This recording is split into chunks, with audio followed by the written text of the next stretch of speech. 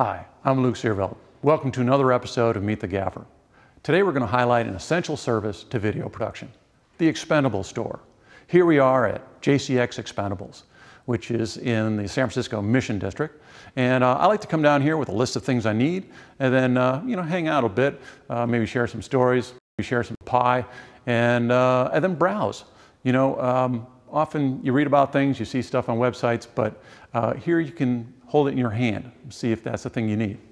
Uh, because they're more than just an expendable store, they're also a reseller of lighting and grip manufacturers. So let's take a look. Let's start in the back.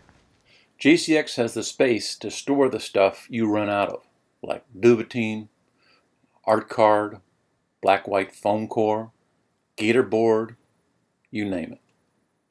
And check out their selection of seamless paper. If you get a last minute client request for a roll, they probably have it in stock. Maybe you haven't been hands on with the latest uh, Kino Flos or Arri Lights or Jokers. Here you can do more than just look at them. You can turn them on and do your own side by side test.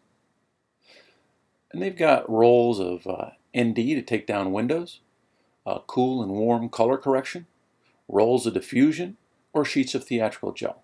And don't forget C47s and black wrap. Then there's this double-sided aisle of uh, small grip stuff and adapters.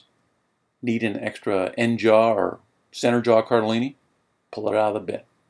They've got gloves, small electrical. Uh, let's say you left a stinger behind on a job and don't have time to make one yourself. No problem.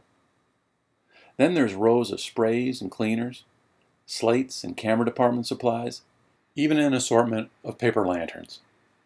And who can't visit an expendable store without picking up some tape? Every department uses it. J-LAR, double stick, one inch, two inch, paper, gaffer, lots of colors. And behind the counter, they've got every sort of spare globe you might need. And in front, there's an assortment of precision tools, meters, uh, mini Cardellinis, as well as the latest small LEDs.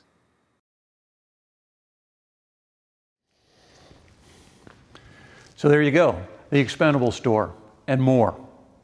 As always, thanks for watching, and I'll see you again next time.